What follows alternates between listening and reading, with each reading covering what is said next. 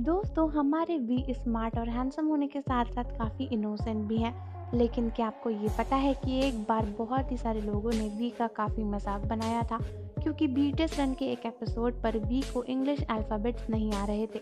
हालाँकि दोस्तों, इस इशू को आर्मीज के बीच में काफ़ी क्रिटिसाइज किया गया था, और आर्मीज का ऐसा मानना है कि वी का मज़ाक बनाना काफ़ी ज़्यादा गलत बात थी।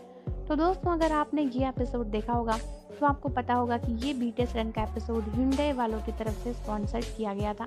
जहाँ पर बीटेस के मेंबर हिंडे के शोरूम में गए थे और वहाँ पर उनको कार्स के बीच में कुछ टास्क परफॉर्म करने थे। दोस्तों, ऐसे में शोरूम के अंदर ही बीटेस के मेंबर्स को कुछ कोड्स और अल्फ़ाबेट्स को खोजना था और अगर वो ऐसा कर लेते तो उनको सरप्राइज़ गिफ्ट मिलता। दोस्तों, इसी के दौरान देखा गया था कि जब भी अल्फ़ाबेटिकल रूम में पहुँचे और उनको हिंट के तौर पर बताया गया कि डब्ल्यू और वाई के बीच में जो अल्फ़ाबेट आता है, वो उनके कोड का आखिरी नंबर है तो वी काफ़ी कंफ्यूज हो गए थे। दोस्तों वीडियो में देखा गया कि वी को याद नहीं आ रहा था कि डब्ल्यू और वाई के बीच में क्या होता है, जिसकी वजह से वो अचानक से फ्लोर पर बैठ गए और बच्चों की तरह ए बी सी डी गाने लगे।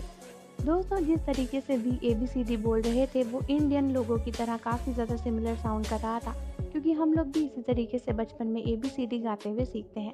हालाँकि दोस्तों मेन बात ये थी कि जब वी डब्ल्यू पर पहुँचे तो उसके बाद वो काफ़ी कंफ्यूज हो गए थे और एक्स की जगह एस बोल रहे थे। जिसको स्टाफ ने करेक्ट किया और उन्हें बताया कि वहाँ पर एक्स आता है। और इसके बाद वी को अपना लास्ट कोड नंबर पता चला।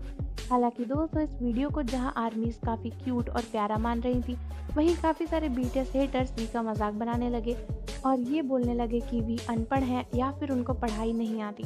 हालाँकि दोस्तों, मैं आपको क्लियर कर दूँ कि वी की इसमें कोई भी गलती नहीं है और उनको अनपढ़ बोलने का किसी को भी कोई हक नहीं।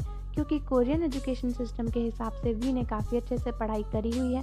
साथ ही साथ दोस्तों इंग्लिश ना आना कोरियंस की कमज़ोरी ही मानी जाएगी, क्योंकि वहाँ पर इंग्लिश को बहुत ही कम इम्पोर्टेंस दी जाती है।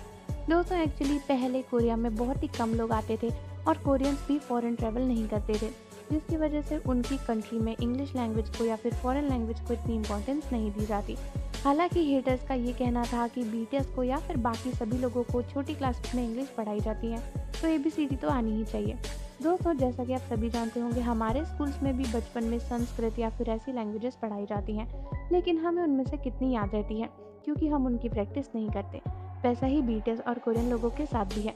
उनको इंग्लिश पढ़ाई तो जाती है, लेकिन वो उसका इस्तेमाल नहीं करते।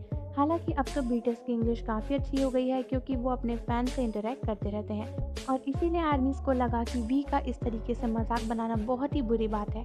तो दोस्तों, मुझे कमेंट्स में ज़रूर बताइए कि आपको क्या लगता है कि वी का मज़ाक बनाना सही था या फिर नहीं। और जाने से पहले चैनल को सब्सक्राइब करना बेल आइकन को प्रेस करना ना भूलें। मिलते हैं आपसे हमारी अगली वीडियो में।